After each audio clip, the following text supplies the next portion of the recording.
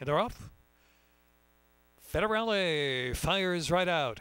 Federale opens up three lengths on keeping the peace in an amen corner and ticker tape parade. Federale's in control, past the five furlong marker, leads about two and a half or three from keeping the peace in another four. Amen corner and ticker tape parade, the two at the back. Federale in front.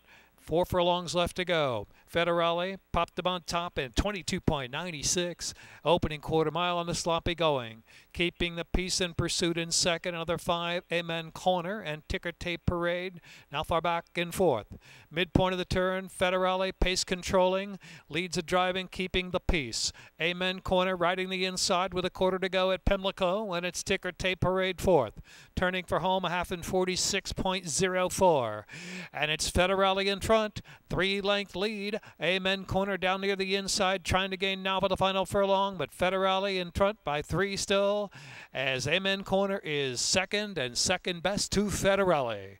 Federale uses speed to his advantage, going to go all the way. Federale by four or five at the finish from Amen corner and keeping the peace and ticker tape parade.